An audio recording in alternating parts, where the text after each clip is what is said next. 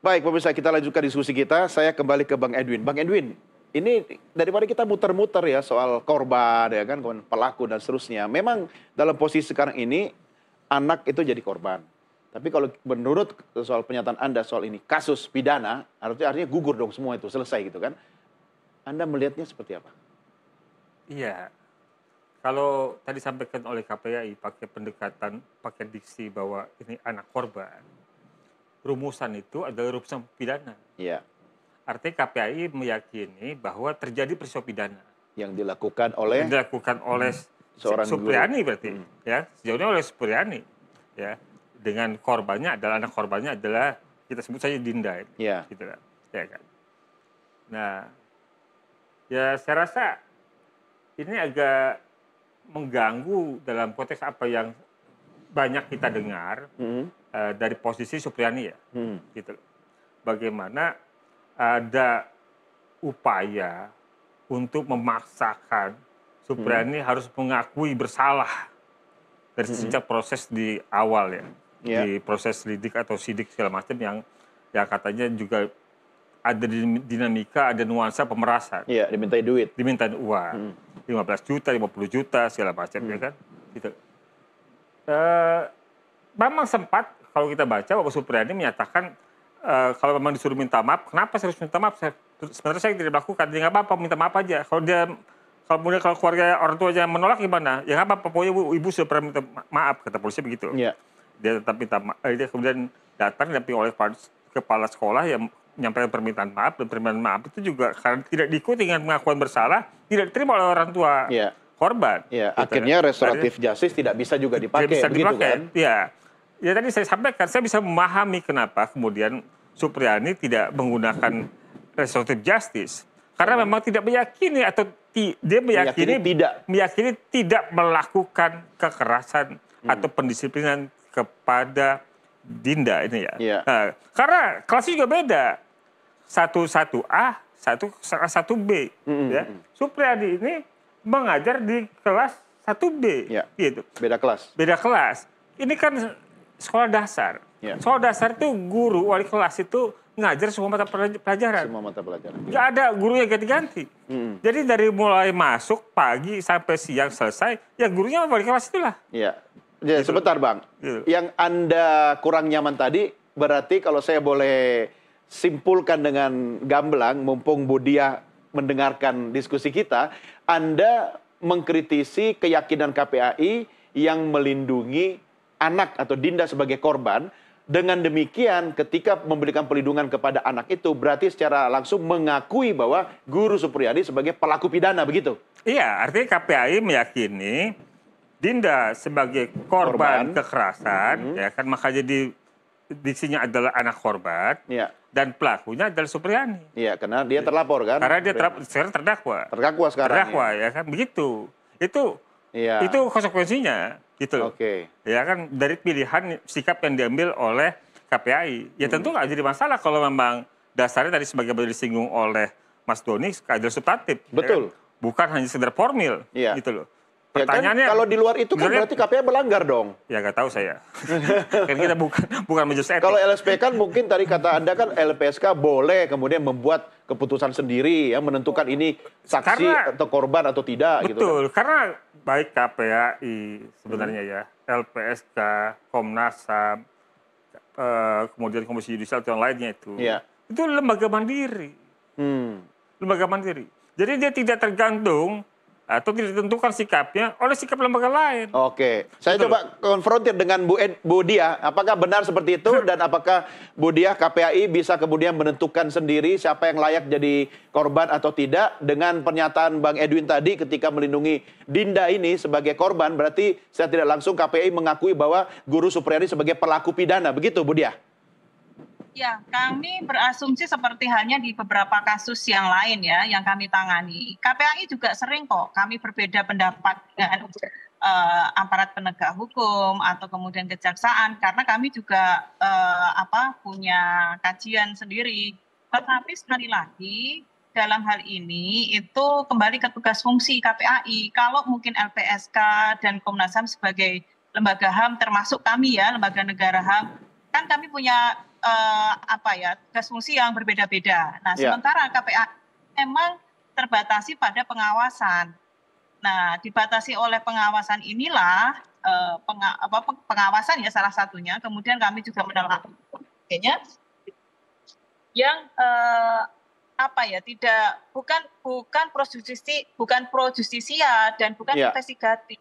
Nah hmm. di situ uh, beberapa perbedaan yang ada di uh, KPAI ataupun LPSK dan Komnas HAM.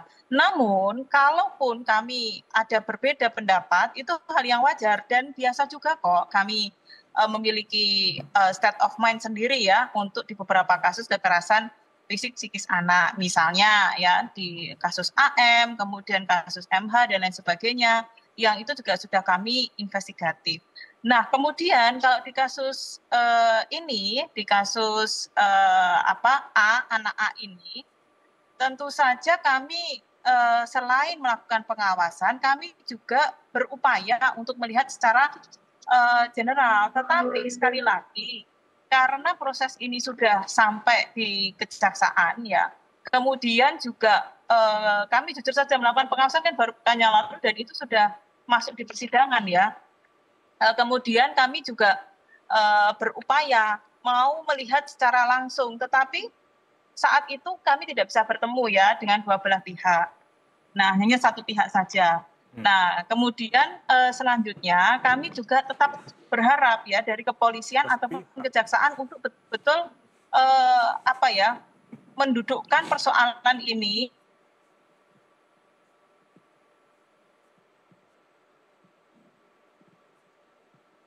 Halo, terputus. Iya. Kemarin kan masukan kalau misalnya uh, diperlukan bisa kok melakukan uh, psikologi forensik gitu ya karena agar melihat uh, hasil visum ini bagaimana ya. itu itu yang tadi saya sampaikan. Ya, tapi proses kemudian KPI memutuskan bahwa ini korban dan layak dilakukan pendampingan dan perlindungan itu cepat juga ya Budia ya. Sebenarnya mekanisme berapa lama sih keputusan itu diambil? Cepat sekali uh, cepat begitu laporan masuk itu kan langsung langsung didampingi mas. Oke dan sampai gitu. kapan itu pendampingan itu dilakukan selama masa sidang atau sampai kemudian pasca sidang masih ada pendampingan? Sampai korban memerlukan masih memerlukan pendampingan itu masih kami berikan ya tetapi kalau kemudian korban sudah dirasa membaik dari sisi psikologis dan bisa mandiri artinya bisa tetap didampingi oleh orang tua tanpa pendampingan sepenuhnya nah itu baru kami uh, apa kami kembalikan begitu. Oke, kalau misalnya dalam eh, persidangan diputuskan bahwa ini tidak layak, eh, ini bukan kasus, ini pidana gitu kan, kemudian diputuskan dilakukan upaya restoratif justice misalnya begitu, apakah kemudian saat itu juga KPI tetap masih menganggap anak sebagai korban atau kemudian selesai pendampingannya? Masih, masih, masih. Oke. Masih. Selama ya memang. Ya. Ya. Oke, Bang Edwin mau diskusi dengan Budia, silakan. Ya. Budia, uh, selama proses pendalaman tersebut, apakah pihak KPI bertemu dengan Bu Supriyani? Kami mau bertemu dengan Bu Supriyani tidak bisa, Pak. Kenapa, ya. Bu? Kenapa? Ada upaya. Jadi uh, kebetulan memang karena waktu untuk terjun itu hanya dua hari ya, sehingga waktu kami terbatas dan memang saat itu Bu Supriyani masih uh, mempersiapkan untuk banding ya, jika tidak salah. Jadi bukan bukan tidak bisa ya, tidak sempat ya. Karena kan soalnya tadi argumen soal waktu dua hari itu kan. Gitu. Ya. Tapi apakah ada upaya membangun komunikasi kalau tidak secara langsung by phone atau seperti apa gitu? Ada, ada dong, ada. Ya. Tetap akan termasuk oleh kuasa hukum ya. Nah. Ya, Ya. Dari keterangan saya saksinya, apakah saksi juga dalami?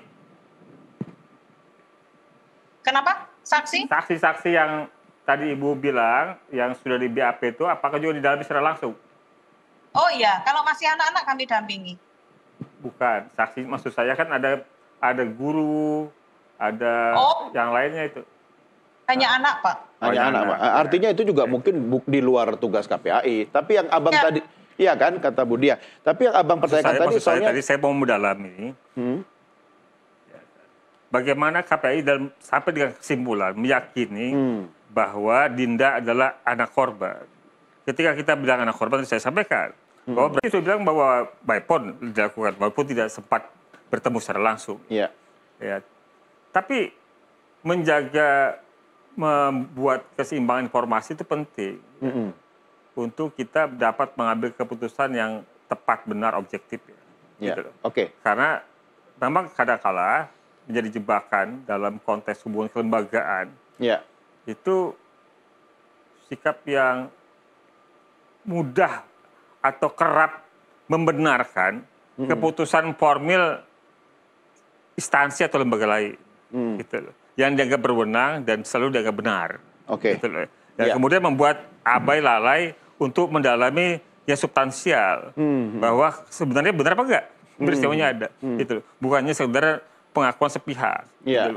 Ti- tentu bukan soal projusia atau bukan projusia tetapi dalam konteks bahwa ketika kita mengambil peran itu kita meyakini pilihan yang kita lakukan menolak menerima melindungi atau tidak melindungi itu memang dari sesuatu sumber keterangan informasi yang kita dapatkan yang kita yakini kebenarannya Iya, iya. sehingga kita mau sama pendapatnya atau beda pendapatnya, tapi memang ada dasarnya, Oke. gitu. Ya. Bukannya sekedar ikut arus. Ya, oke. Ini dengan tidak bermaksud mengintervensi kewenangan masing-masing lembaga, tentu kan masing-masing pihak berusaha menjalankan fungsi dan tugasnya dengan baik. Budia, apa langkah selanjutnya yang bisa dilakukan oleh KPAI yang fokus pada pelindungan korban? Yang jelas kemarin setelah dari apa pengawasan di Konawe Selatan itu kami mencoba untuk tetap komunikasi dengan Kemendikbud ya. Ya, Dan kami berupaya eh, peduli dengan kondisi guru tentunya. Jangan sampai terus nggak ada orang jadi guru kan khawatir juga nih masa depan ya. betul. Nggak memberikan masukan itu kepada eh, Kementerian Pendidikan Dasar dan Menengah. Eh, dan itu saya lakukan sendiri juga. Kami sampaikan bahwa ini mohon didampingi ya. Dan mohon juga eh, ada ada pendekatan lain sehingga bisa dicari mana yang terbaik begitu. Itu itu kami sampaikan. Ya Oke. terbaik untuk terbaik untuk eh, profesi guru ya. Ya, itu yang kami eh, sampaikan. Dan sepertinya sudah ada tindak lanjut eh, dari kementerian. Kemudian kami juga berharap eh, jangan sampai ada kesan mohon maaf ya eh, jadi terus takut jadi guru terus kriminalisasi guru tetapi ini juga bentuk kehati-hatian ya, dan tentu saja selanjutnya wali murid ya atau orang tua murid juga harapannya membangun komunikasi ya sehingga ada konfirmasi dan lain sebagainya. Ini hikmah yang setidaknya kami ambil ya eh, dari kasus ini. Yang kedua, tentu saja untuk anak korban kami terus akan memantau ya dan berupaya tentu saja upaya kami berharap agar anak segera sekolah. Kalaupun tidak di ke sekolah, pasti kan tetap harus ada eh, hak pendidikannya bisa Benar, online benar. mungkin atau bikin tugas dan lain sebagainya sehingga Ya. eh, Tanya. tidak terputus begitu mas. Oke, ya baik. Ya, saya harus memberikan waktu Bang Edwin untuk sekaligus closing statement. Tapi nextnya apa? Kalau mau bicara kasus yang lain juga, paling tidak tujuan kita kasus ini selesai. Gimana Bang Edwin? Ya. Ya pertama, eh, sebenarnya saya ada pertanyaan ke Budi ya. Ya, ya, singkat. Eh, pertanyaan saya, apakah isu soal pemerasan terhadap Supriyan itu termasuk di dalamnya atau tidak oleh Budi atau KPI? Ya. Yang Ya. soal 15 juta jadi 50 juta. 50. aja. Ya itu sudah kami sampaikan ke, ke eh, apa ya ke kementerian ya itu saya saya juga miris tentu saja tetapi sekali lagi kami hanya Enggak, maksud saya menjalankan apakah apakah isu soal pemerasan itu terlepas dari soal sampaikan itu eh, membangun membangun opini baru, pandangan baru terhadap peristiwa itu atau tidak gitu. Ataukah tetap pada pada kesimpulan yang sama sebagaimana juga yang disampaikan oleh jaksa dalam dakwaan misalnya atau penyidik ketika proses penyidikan. Ya, kalau itu begini Pak. Jadi kalau secara pribadi, saya secara pribadi ya, Hmm. eh, dan saya guru tentu saja hal-hal itu sudah saya pertimbangkan. Ya, Kami pertimbangkan saja dan itu juga menjadi keresahan kita bersama tadi. Statement saya jelas ya bahwa jangan sampai terus ada ketakutan untuk menjadi guru karena kekhawatiran nanti apa-apa Ya. dipolisikan dan lain ya. Tetapi Bukan, saya tidak- Saya mencoba saya- menengahi saya Bang tidak Edwin, artinya bahwa ada hal-hal yang mungkin di luar ranahnya Ya. KPI sebagai lembaga gitu kan. Tetapi juga tidak dipertimbangkan sepertinya. Oke, nah sekarang saran Bang Edwin apa? Ya, sekaligus kita harus tutup diskusi. Sedangkan kenapa saya tidak langsung ke kementerian ya? Jadi Ya. kalau tidak Maksud saya isu krusial soal pemerasan itu ya. Jadi proses penegakan hukum kita, kita tentu berpihak pada anak. Ya. Ya. Kita, kita, kita tentu tidak berpihak pada pelaku yang membuat anak menderita ya, jadi Ya. anak Oke, korban. ya, gitu. baik, Tetapi baik. kita juga berharap ya segala proses yang terjadi itu benar-benar berdasarkan hukum berkeadilan, Ya. bukan atas atas kepentingan atau pertunjukan kekuasaan. Hmm. Begitu maksud. Oke, ya baik. Saya harus mengakhiri dan kami menangkap maksudnya. Yang jelas masing-masing pihak tentu berusaha untuk menjalankan tugasnya dengan baik. Bu Diah, terima kasih sudah bergabung sama kami. Semangat terus dalam menjalankan tugasnya, ya melindungi korban, ya. Dan selamat bertugas kembali. Terima kasih Bang Edwin juga. Terima kasih. Terima kasih, Harapan kita kasus ini cepat selesai dan tidak Ya. akan terjadi kasus yang sama lagi ya. Ya. Dan kalau kita ketemu lagi jangan bahas kasus yang sama ya, Bang. terima kasih, Bang. Kita Ya. berharap supaya ini bebas. Oke, baik. Terima kasih pemirsa. Inilah akhir diskusi kita di paruh pertama. Jangan ke mana-mana. Sesaat lagi Anda akan mengikuti kembali dialog NTV Prime bersama rekan saya Tasya Lutmila. Kami segera kembali.